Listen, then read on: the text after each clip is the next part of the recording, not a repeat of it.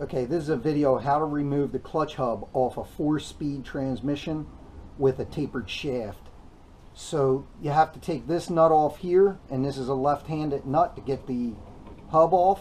There's also a lockdown in here, which I already took off. Now, this is the tool to take that off.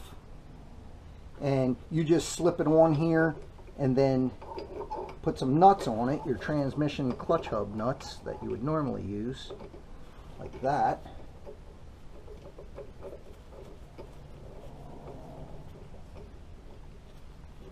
This tapered shaft is also keyed.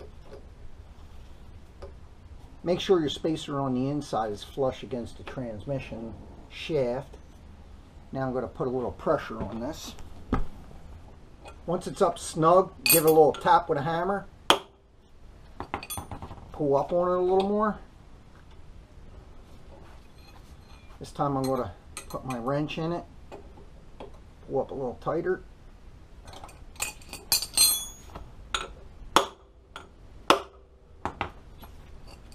Pull up again. And there you have it. That's the clutch. Here's the tapered shaft and the key. And now you can take the tins off, which is this nut here and this nut, and expose the transmission.